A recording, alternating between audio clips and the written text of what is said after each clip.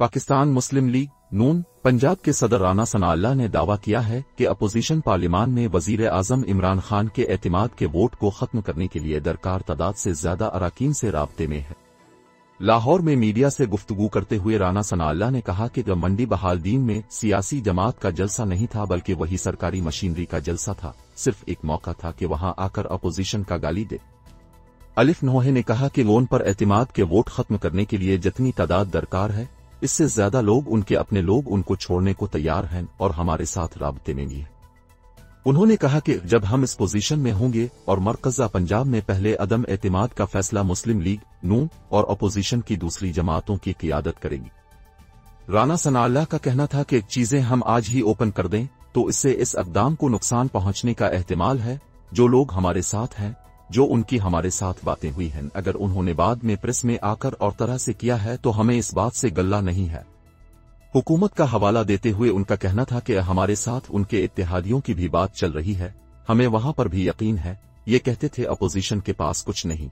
हमें कोई खतरा नहीं है। तो अब वजारतें क्यों बांटने लगे उन्होंने कहा कि अभी एक एक हल्के में दो दो और तीन तीन अरब रुपए के तरक्याती फंड्स उन लोगों को क्यों नहीं दिए जिन्हें उन्होंने बुलाया था? इससे साबित होता जो वो कह रहे थे वो गलत है, और जो हम कह रहे थे वो ठीक है। उनका कहना था कि यह हमारे साथ अवाम की दुआएँ हैं, और हम जहाँ भी जाते हैं, हर तरफ़ लोग यही कहते हैं, हमें उनसे जान छुड़ाओ। इस वक्त पूरे मुल्क की ये हालत है। रहनुमा मुस्लिम लीग नून ने कहा कि अदम एतमाद की तहरीक कामयाब होगी। एक सवाल पर उन्होंने कहा कि हम किसी एम्पायर की उंगली की तरफ़ नहीं देख रहे हैं। हाँ ये हमारा मुतालबा ज़रूर है और हम चाहते हैं, हमारी सियासत भी है और हमारा मकसद है कि किसी एम्पायर की उंगली नहीं होनी चाहिए। उन्होंने कहा कि किसी एम्पायर को मुल्क के सियासी मामलात में मुदाखलत नहीं करनी चाहिए।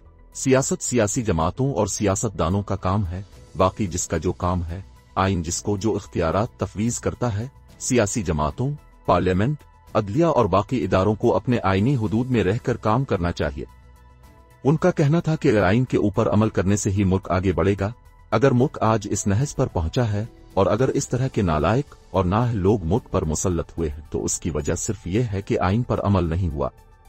राना सनाल्ला ने कहा कि अगर आइन के ऊपर अमल हो तो इससे कोई फ़र्क नहीं पड़ता है कि निज़ाम कौन सा है। ये पार्लियामानी सदारती या कोई और निज़ाम है। निज़ाम से कोई फ़र्क नहीं पड़ता। आइन पर अमल किया जाए तमाम इदारे और मुआशरे के तमाम तबके आईनी हदूद में रहकर अपनी जिम्मेदारियाँ निभाएँ तो मुल्क तरक्की कर सकता है। अगर हमारे मुल्क में ऐसा होता, हम आज बहुत आगे होते। राना सनाउल्ला ने कहा कि हमारी पस्ती की वजह, हमारे बुरे हाल की वजह बुनियादी तौर पर आइन पर अमल न करना है। मुस्लिम लीग नून के रुकन असेंबली ने हुकूमत पर तनकीद करते हुए कहा कि हुकूमत मुस्लिम लीग नून और मेरे ऊपर जो इल्ज़ाम और मुकदमे दर्ज कर चुकी है, इसके सबूत फराहम करने में नाकाम हुई है। पाकिस्तान मुस्लिम लीग, नून की सेक्रेटर इत्तलात ने लाहौर में ही प्रेस कॉन्फ्रेंस करते हुए राना सनाल्ला की तरह बयान दिया।